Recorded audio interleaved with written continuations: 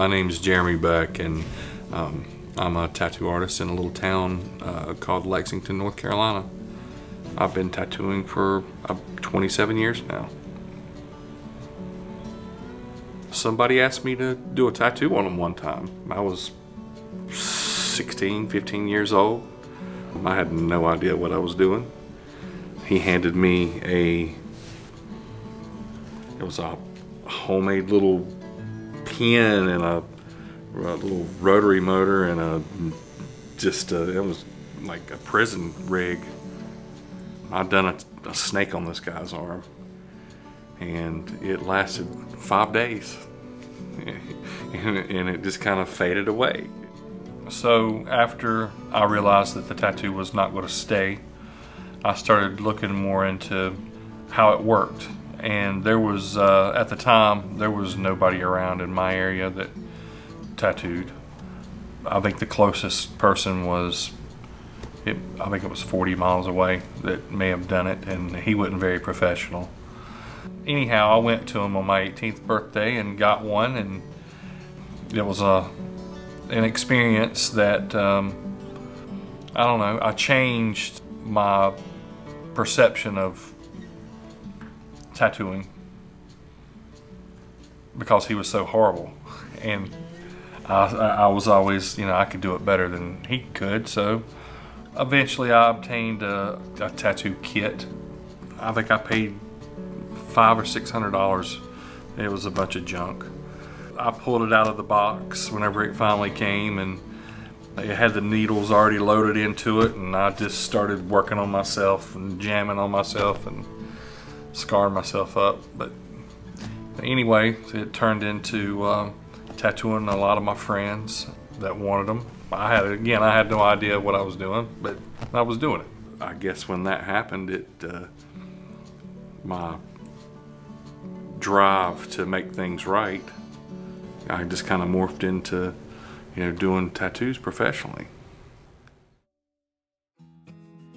So around about the same time that I was learning how to tattoo, um, there was a uh, particular artist, his name was Dr. Guy Harvey. That was the first colored illustration of sea life that I'd ever seen. And I, I really loved it. I started trying to, you know, mimic some of the stuff that he did and, you know, it kind of turned into my own little thing. I painted, you know, because I was in the tattoo industry, I painted the skulls and, you know, the dark stuff and the hearts and the moms and, you know, the typical stuff that you would see in a tattoo parlor when you would walk into it. Over the last five years, I really dedicated my um, art to just marine life. Yeah, and it's turned into uh, more of a, a, passion for conservation and after you see um, some of the things that can be changed with people's behavior and learning how to be adults and picking up after yourself I mean eh, you know our, our oceans are in danger and it's, it's a bad thing. I just decided to start donating a lot of my stuff to research and conservation and you know for auctions solid auctions and you know just helping the cause. Eventually I will uh, just go only into you know the painting and um, I plan to move to Key West here in a few years and that's where I'll stay.